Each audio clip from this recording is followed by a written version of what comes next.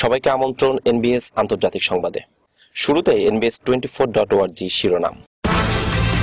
আসামে সরকারি মাদ্রাসা বন্ধের ঘোষণা।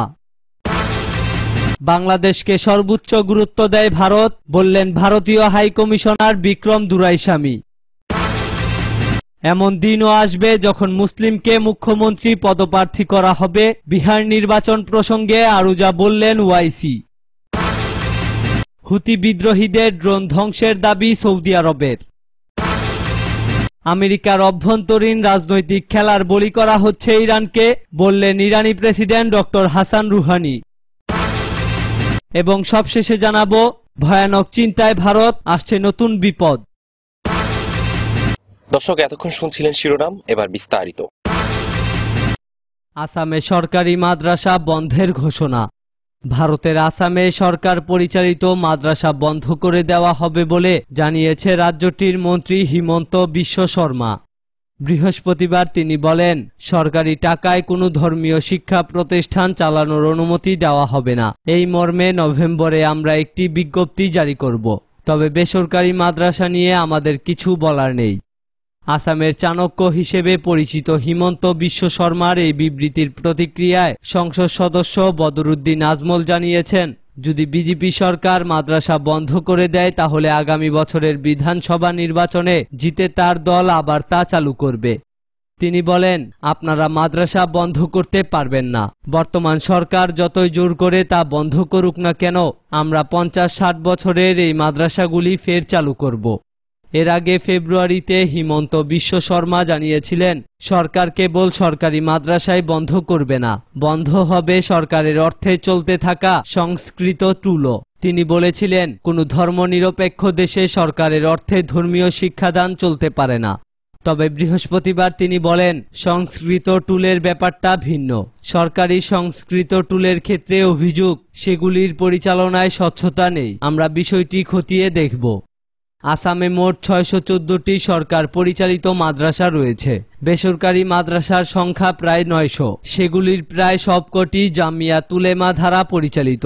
সরকারি টুল রয়েছে প্রায় একশোটি। বেসরকারি টুল রয়েছে পাঁচশোর বেশি। সরকারি মাদ্রাসাগুলি চালাতে আসাম সরকারের বার্ষিক তিন থেকে চার কোটি টাকা খরচ হয়। সরকারি টুলের ক্ষেত্রে বার্ষিক খরচ এক কোটি টাকা। এ খবর জানিয়েছে ভারতীয় সংবাদ মাধ্যম টাইমস অব ইন্ডিয়া।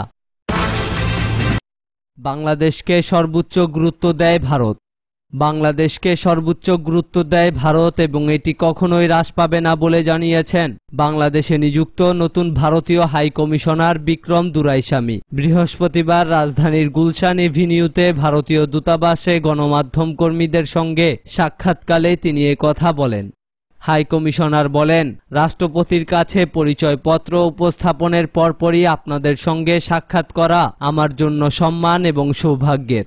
তিনি বলেন, প্রথমত আমি দৃঢ়ভাবে বলতে চাই যে, বাংলাদেশ সবসময় ভারতের অত্যন্ত বিশেষ অংশীদার ছিল, আছে এবং ভবিষ্যতেও থাকবে। আমাদের বন্ধুত্ব কৌশলগত অংশীদারিত্বের অনেক ঊর্ধ্বে, কারণ এই বন্ধুত্ব রচিত হয়েছে অভিন্ন ত্যাগ, ইতিহাস, সংস্কৃতি এবং আত্মীয়তার অন্যান্য সম্পর্কের উপর ভিত্তি করে। বাংলাদেশকে ভারত সর্বোচ্চ স্তরের গুরুত্ব দেয় এবং এটি কখনোই হ্রাস পাবে না। তিনি বলেন, দ্বিতীয়ত, আমাদের অংশীদারিত্বের উৎস পারস্পরিক শ্রদ্ধা। ঐতিহাসিক জনযুদ্ধের মাধ্যমে নিজেদের স্বতন্ত্র পরিচয়ের ভিত্তিতে একটি জাতিকে রূপদানকারী হিসেবে বাংলাদেশের মানুষের চেতনার প্রতি আমরা গভীরভাবে প্রশংসা ও সম্মান জানাই। আপনারা অসংখ্য মৃত্যু ও মা বোনদের প্রতি বর্বর নির্যাতন উপেক্ষা করে অনন্য সাহস এবং বীরত্বের সঙ্গে নিজেদের উপর হওয়া অত্যাচার ও কঠোরতার মুখোমুখি হয়েছিলেন।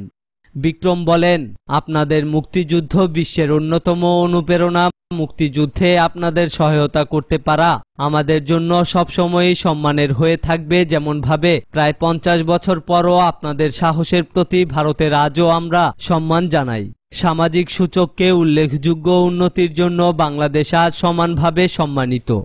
তিনি বলেন, এই চেতনায় এবং মুজিববর্ষ স্বাধীনতার সুবর্ণ জয়ন্তী এবং আমাদের দ্বিপাক্ষিক কূটনৈতিক সম্পর্কের পঞ্চাশতম বার্ষিকীর স্মরণীয় বছরগুলোর স্বীকৃতি হিসেবে আমি মুক্তিযুদ্ধের বীরদের প্রতি শ্রদ্ধা জানিয়ে এই অংশীদারিত্বের জন্য সেবা শুরু করার সিদ্ধান্ত নিয়েছি। তাই আমি আখাউড়া স্থল সীমান্ত থেকে সরাসরি ধানমন্ডিতে তার স্মৃতি বিজড়িত জাদুঘর পরিদর্শন করে বঙ্গবন্ধুর উজ্জ্বল নেতৃত্বের প্রতি বিনীত আন্তরিক শ্রদ্ধা নিবেদন এবং তিনি শুক্রবার সাভারে যান বাংলাদেশের সব শহীদদের প্রতি শ্রদ্ধা জানাতে। হাই কমিশনার বলেন, আমি স্বীকার করি নিকটতম সম্পর্কেরও পরিচর্যা করা প্রয়োজন। ভারত সরকার আমাকে ঠিকই তাই করার নির্দেশ দিয়েছে। আমি এবং আমার সহকর্মীরা এই অংশীদারিত্বকে সর্বস্তরে প্রচার করতে কোনো সুযোগই ছাড়ব না। আমরা উভয় পক্ষের সংশ্লিষ্ট সব মাধ্যমে এই অংশীদারিত্বের পক্ষে সর্বোচ্চ সমর্থন জানাব।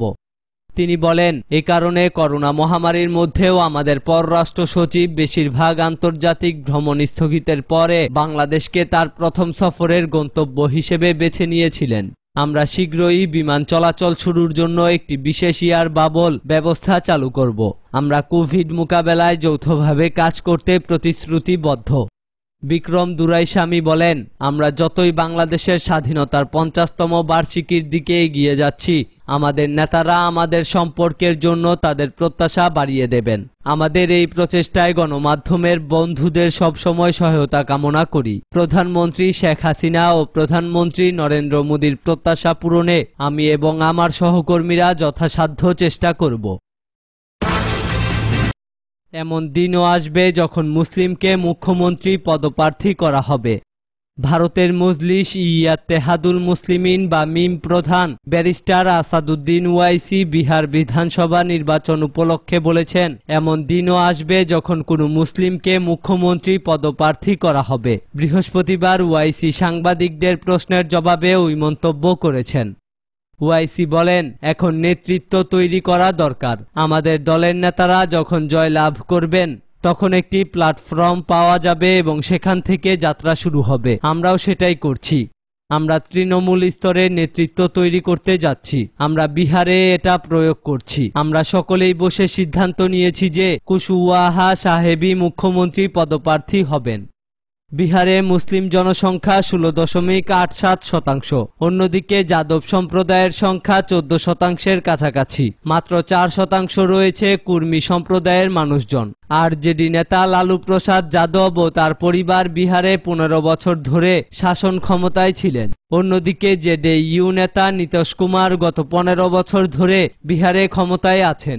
তিনি কুর্মী সম্প্রদায়ের মানুষ। এই চোদ্দ শতাংশ ও চার শতাংশের মানুষজন বিহারের ক্ষমতায় ৩০ বছর ধরে থাকলেও রাজ্যে কমপক্ষে সতেরো শতাংশ মুসলিম সম্প্রদায়ের মানুষ থাকা সত্ত্বেও মুসলিমদের মুখ্যমন্ত্রী প্রার্থী না করে ছয় শতাংশের কুশওয়াহা সম্প্রদায়ের আর এল এস পি নেতা উপেন্দ্র কুশওয়াহাকে এবার বিরোধী জোটের পক্ষ থেকে মুখ্যমন্ত্রী পদপ্রার্থী করা হয়েছে। কুশওয়াহার দল R L S P Asaduddin ওয়াইসির মিম মায়াবতীর বিএসপি সহ চার দল।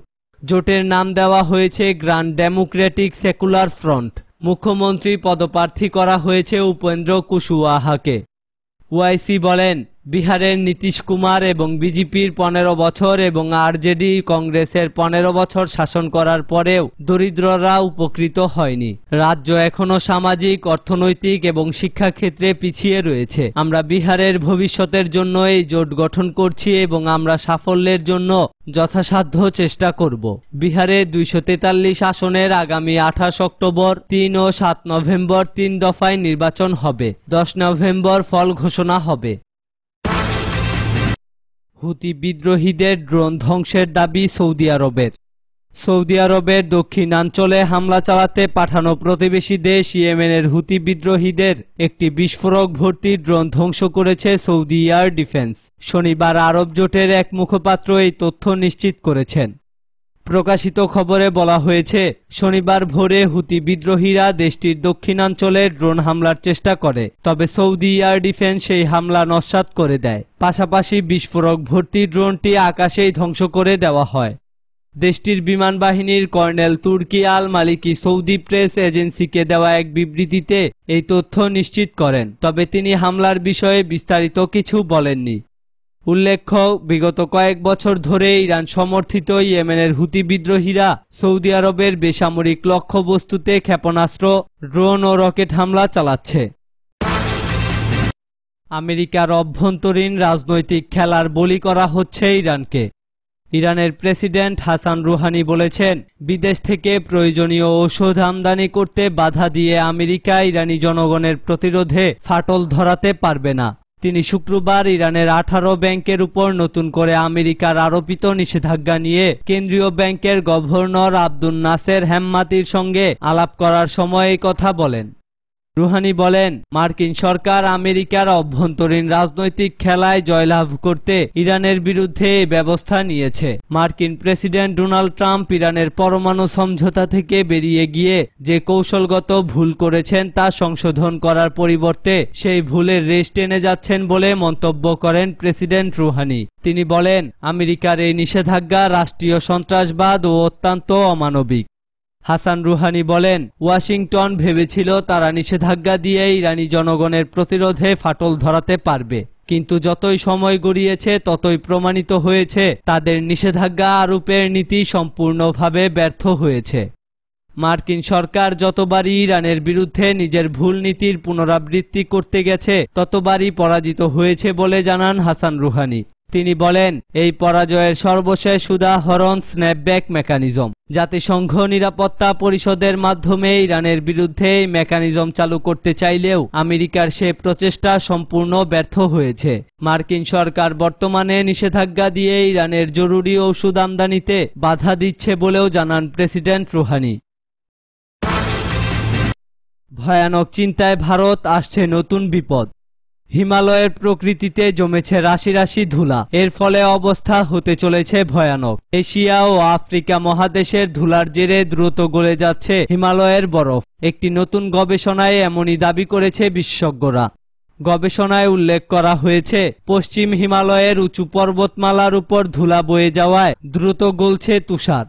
নেচার ক্লাইমেট চেঞ্জের রিপোর্ট অনুসারে পর্বতমালার উপর দিয়ে উড়ে আসা ধূলিকণা তুষার গলানোর প্রক্রিয়াটিকে ত্বরান্বিত করতে পারে। এর কারণ, ধুলিকণা সূর্যের আলো শোষণ করে আশেপাশের এলাকা উত্তপ্ত করে তুলে। ফলে ওই এলাকার তাপমাত্রা বেড়ে গিয়ে গলতে শুরু করতে পারে বরফ। উদ্বেগের বিষয় হল দ্রুত বরফ গলে যাওয়ার ফলে তা প্রাকৃতিক বাস্তুশাস্ত্রেতেও প্রভাব পড়ে। হিমাবাহ থেকে নেমে আসা মিষ্টি পানি নদীর তীরে প্রবাহিত হয়। এটি স্বাভাবিক তুষার গলানোর প্রক্রিয়া থেকে আসে। একটি অনুমান অনুসারে, দক্ষিণ পূর্ব এশিয়ার প্রায় সাতশো মিলিয়ন মানুষ তাদের মিষ্টি পানির প্রয়োজনের জন্য হিমালয়ে বরফের উপর নির্ভর করে।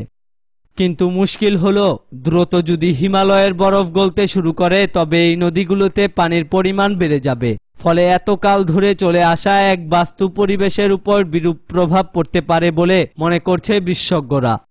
গঙ্গা, ব্রহ্মপুত্র, ইয়াংজি এবং হুয়াং সহ ভারত ও চীনের অনেকগুলো প্রধান নদী হিমালয় থেকে উৎপন্ন। সুতরাং এই অঞ্চলে তুষার গলা বিপজ্জনক হিসেবে চিহ্নিত হতে পারে।